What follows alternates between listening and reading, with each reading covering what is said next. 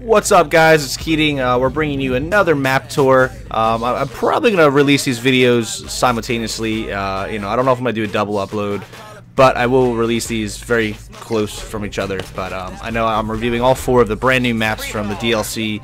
Uh, map pack number one from Call of Duty Infinite Warfare called Sabotage. The map we're reviewing right now is called um, Neon.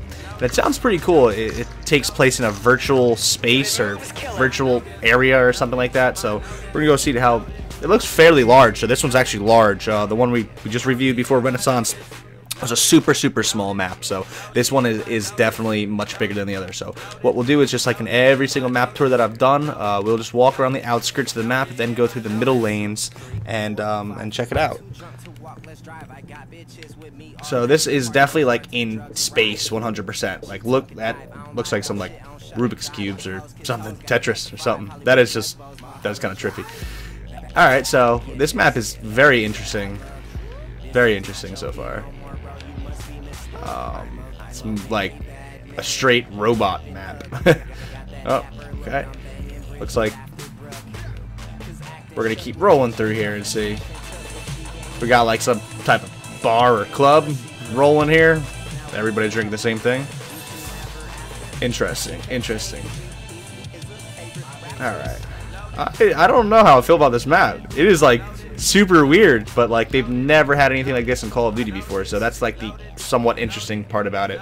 I don't know how it'll uh, be as far as gameplay for like, you know, public matches and stuff, but um, it looks really interesting. Uh, we'll go explore each one of those buildings after we walk around the whole outskirts of the map. I like to go outside in case I miss anything. Um, you know, I, I, do tend to miss a lot of stuff when we go through these uh, map tours. So looks like we hit the outskirts now. We're gonna we're gonna go check out each individual building um, and go from there. So we're at, we're rocking at City Hall right now. It looks like. Um, yeah, PR13. I have no clue what that means. We'll check this building out. It's a very, very large map. I can see myself missing some stuff here on the on the uh, map tour. So if I do miss anything, bear with me. This is my very first time I'm seeing these maps. Um, so I, I, literally just just got I just downloaded it and um, I'm trying to uh, play it by ear and and explore the map with you guys. So we already went in that little club bar thing. So looks like this is the middle part. Uh, we got the police station here police station. I think, oh, we just, we were just in that building. Hmm, okay. Well, we got some type of ledge over here. We'll see this building over here. Looks like some house or another bar or something. Something like that. Some whiskey. Could use some of that. Alright.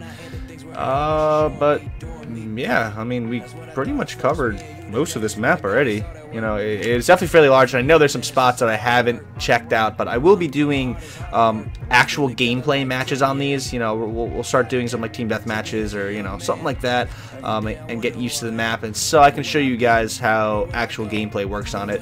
But I do, whenever DLC first launches, I do like to show everybody what the map looks like and stuff like that.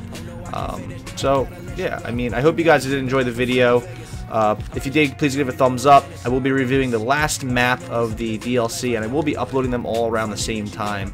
So, um, once again, if you guys did like it, uh, if you guys did enjoy the video, please give it a like, and I will see you guys on the next one.